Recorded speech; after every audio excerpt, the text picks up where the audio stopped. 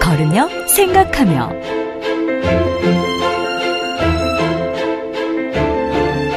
안녕하세요.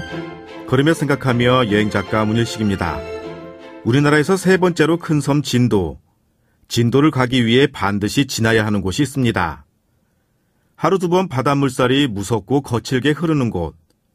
임진왜란 때 이순신 장군이 명량대첩을 승리로 이끌었던 전승의 현장인 명량해협입니다.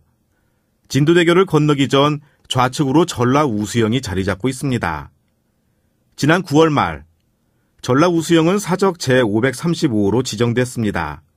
조선시대 수군 체계는 남해안의 외구 침범에 따라 민감하게 변했습니다. 고려 말부터 조선 초에는 특히 남해안의 외구의 침입이 많았습니다. 이에 조선 세종 때 전라 수영이 해남으로 옮겨졌고 성종 때 이르러 여수의 전라 좌수영이 따로 설치되면서 해남은 전라 우수영이 되었습니다. 전라 우수영에는 이순신 장군의 흔적이 남아 있습니다. 경남 진주의 손경래 집에서 삼도수군 통제사의 직첩을 받은 이순신은 구례와 곡성, 순천, 보성 등을 거쳐 한 달 보름여 만에 진도의 벽파진에 이르렀습니다.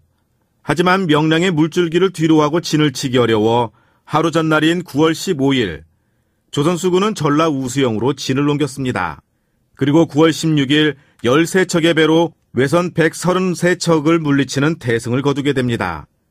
전라 우수영에 들어서면 바다와 접해 있는 곳으로부터 울돌목의 거친 바다를 볼 수 있습니다. 420년 전 거룩한 승리를 거뒀던 바다의 울음이 들리는 듯합니다. 그리고 잔잔한 물가에는 이순신 장군의 동상이 서 있습니다. 고래하는 이순신상입니다. 쉽게 만나는 장군복을 갖춘 동상이 아닌 관복을 입고 고개를 떨군 채 시름에 잠겨 있는 인간적인 이순신 장군의 모습이라 더욱 정감이 갑니다. 진도 여행을 가는 길이라면 전라우수영을 반드시 들러야 할 곳입니다. 또한 그 전에 해남군 문내면 소재지를 들러보셔야 합니다. 이곳에는 이순신 장군의 명량대첩의 승전을 기록한 명량대첩비, 그리고 법정 스님이 태어난 생가터도 남아 있습니다. 또한 전라 우수영의 건너편 진도타워는 꼭 올라봐야 합니다. 전라 우수영과 진도대교, 그리고 회오리 치는 울돌목의 바다가 내려다 보이기 때문입니다. 이제 사적으로 지정된 전라 우수영의 위상이 조금은 올라간 듯해 다행스럽습니다. 걸으며 생각하며 지금까지 문일식 여행작가였습니다.